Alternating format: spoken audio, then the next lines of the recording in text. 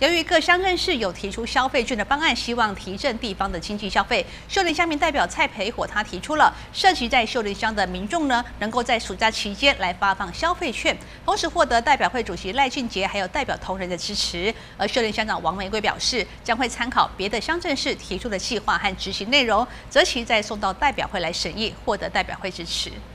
继新城乡公所发放征询证之后，引发秀林下面代表会的专注。秀林下面代表蔡培火，并且在代表会临时会当中提案，涉及在秀林乡的乡亲来发放征询券，来刺激地方消费。这个公所希望在这个暑假的时候，暑假前呐，因为小孩子都还没有到台北念书嘛，希望暑假之前就可以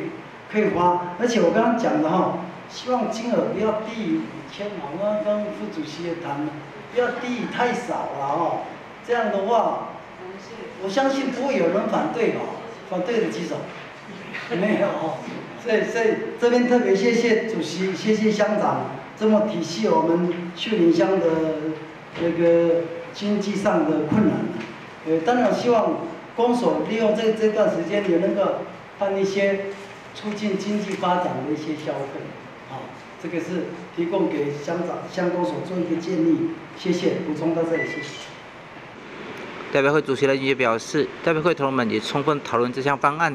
希望公所能够研议方案提送到代表会。那这个部分，我想前面很蔡代表、金代表、陈代表、赖代表、陈代表、陈龙代表，还有洪志源代表、啊邱代表，啊所有的代表其实都有提过这个事情。前面。我也跟乡长讨论过这里，乡长也跟呃代表会在协调做这个事情啊。代表提案之后，我想就像刚刚在谈的哈，请乡公所去研拟一个办法，哦，因为现在刚蔡代表已经提出很多乡镇都有类似的作为，哦，那由乡公所这边研拟一个办法之后，再送代表会这边审议。邱林乡长王玫瑰表示，公所会参考其他乡镇市的方案。公所团队会进行规划，让这项美意能够落实下去。振兴礼金哦，这一块，呃，其实已经其实想了非常久。那我们呃，既然代表会也有这样的构思，其实我们村长也早在呃村里长会议的时候，在会前会我们都会做一些讨论，还是要依照规定哈，依照现有的规定，怎么样可以呃让。